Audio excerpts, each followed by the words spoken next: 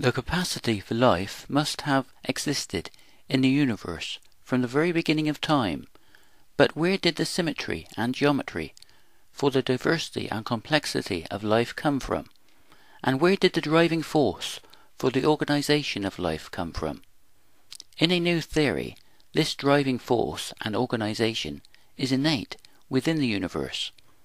It is formed because electromagnetic radiation or light has momentum and will always radiate from its radius, forming a sphere. We will always have to square the radius to get the surface area.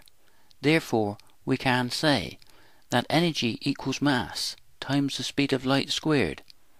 Because the universe is never at absolute zero, everything is radiating light waves of electromagnetic radiation continuously. If our eyes were more sensitive to the light, we would be able to see this universal process. In this theory, the continuous flow of electromagnetic waves forms a process that we see and feel as the flow of time itself, that forms the geometry and curvature of space-time. This process is totally dynamic and interactive.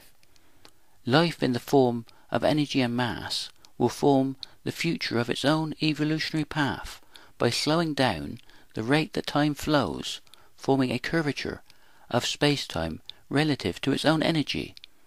This forms a universal process of symmetry forming and breaking. Early life forms would have moved towards the light, creating a curvature relative to its own energy. The, the direction of movement or growth can be seen mathematically as a vector. Each new vector will have an energy level based on the two previous vectors. This will form the Fibonacci curves and spirals that can be seen in all life, but is most visible in plant life. Intelligent life will form its own evolutionary path out of this process of symmetry forming and breaking. Because this is a process over a period of time, and time has the geometry of space-time, intelligent life will have line symmetry within its geometry, representing the timeline of its own chosen evolutionary path. This process forms an infinity of possibilities for the diversity and complexity of life, but all life is based on the same process, giving all life the same mathematical foundation that Charles Darwin's theory of evolution is based upon.